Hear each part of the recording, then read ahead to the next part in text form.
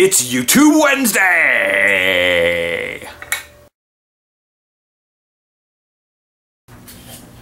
Today I want to mess with re uh, red and blue light. You can do a lot of cool effects with red and blue light and the basics of it is that in red light, blue paint turns black and in red light, red paint disappears. In blue light, red paint turns black and blue paint disappears. Um, I have a couple of lights rigged up right here. There we go. I have a couple of lights rigged up here and one is red and one is blue and I will just show you a couple different things. I'm going to test some paint here real quick because different bulbs will react differently to different shades. So I have two kinds of red and I have two kinds of blue. Now I want to see which one works the strongest.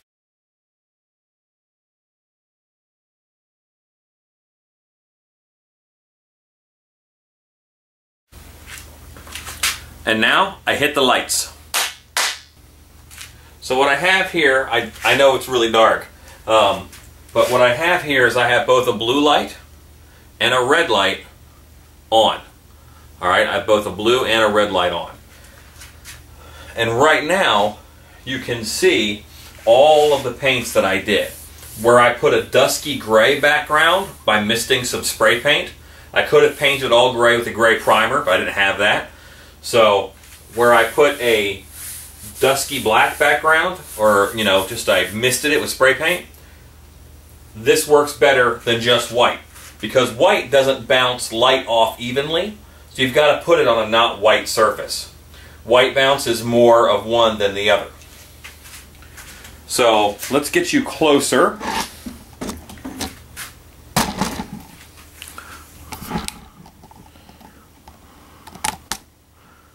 Okay. And I will show you the difference. Remember there's two kinds of blue and two colors of red. I'm going to turn off the blue light. I've turned off the blue light and that red has almost disappeared on that dusky background. It has faded over here on this side, but it's almost gone over here. So that's kind of very hard to see. If I turn back on the blue light, that creates almost a white light because there's more information for, for these colors. Then if I turn off the, the red light and leave on the blue, you can see over here, now these reds are very, very black, and this blue is very faded. Okay, it's very hard to see that blue. But if you switch light, I'm going to switch them now. I've now switched and now it's black. Alright, the red is black. So you can kind of see that there's there's definitely a change that happens. Okay? And you can use that to change a set instantly. Um, you can use it for a lot of reasons. I'm going to bring the lights back up and I'm going to do a cool effect on this for you. So you can see now how I misted out this one side. And I'm going to go ahead and do a little bit more of that because I want to do something right here.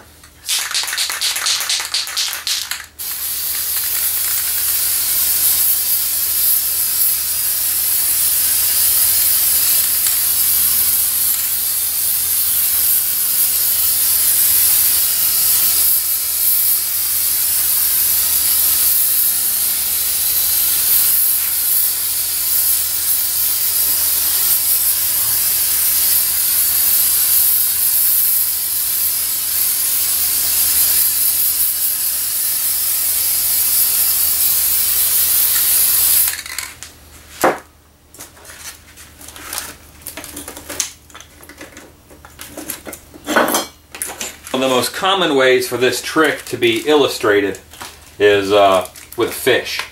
So I'll go ahead and I'll do the fish example.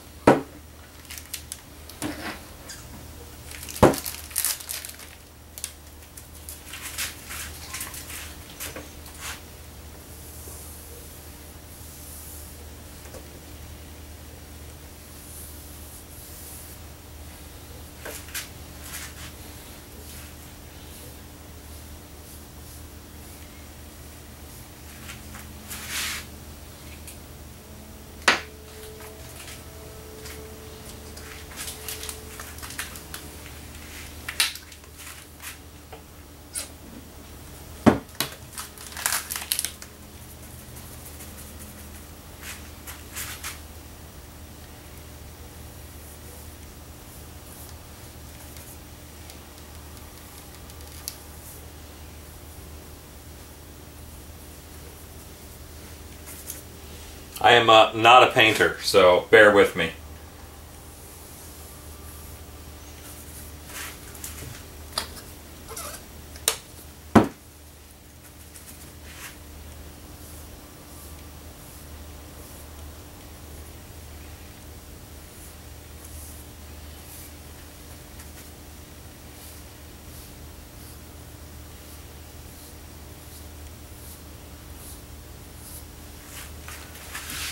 Okay, that's my fish. I'm going to kill the lights and I'll show you what I can do with that. Now, if this is what they see when they first come in, all right, the, the center is very faded, all right? And if I switch, you'll immediately see that the, uh, now this is still wet, so I'm getting a little bit of reflection of just reflected light. It isn't necessarily that you see the blue, but it's the reflection of the wet. So as that dries, that'll be even a better example but I'm impatient. So, like that, see a fish swimming along in the ocean, oh, the fish is dead, or it's x-rayed. So you can quickly do an x-ray type set um, involved. That's a pretty terrible looking fish, I realize that now. It looks kind of like a strawberry on its side. But you get the idea. And here, you know, I've got the, when the red light is on, the blue fish shows up well. When the red light is off and the blue light is on, the bones show up very well because the bones are painted in red and they become black. So this is a, a really cool effect.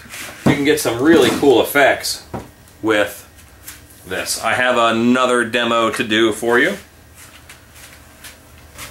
That's just a plaster bust. Okay, red light, and there it is in blue light. I'm kind of burning it out though with the light being so close.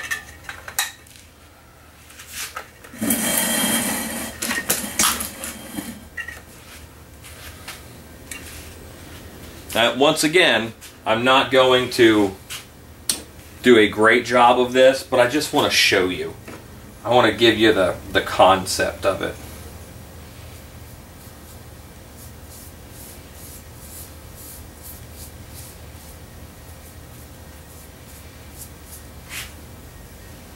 Now you take as long as you want to do the makeup job. Do a regular makeup job. Airbrush the colors on. No problem. No worries.